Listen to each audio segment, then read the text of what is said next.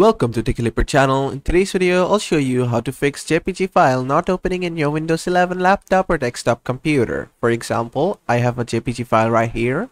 Now to open it, what I can do is just right click on it, then click on open with, then just select paint. This will open the picture in paint for me. I can just minimize this and there you go.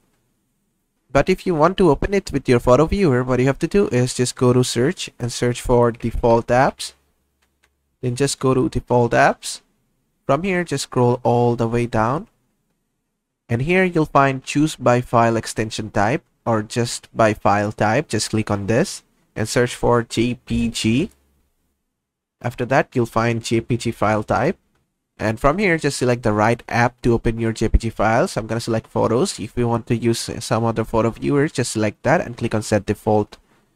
Now try opening your photo. And if it still doesn't open, then what you can do is just go to apps from here, go to installed apps. Then from here, just search for photos or whatever the photo app you have. Just search for that. Just click on it.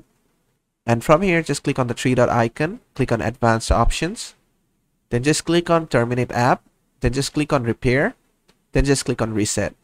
This is gonna close the app for you, repair the app if there is any malfunction in it, and reset the app for you. Then just go ahead and try to open your picture again, and it should open.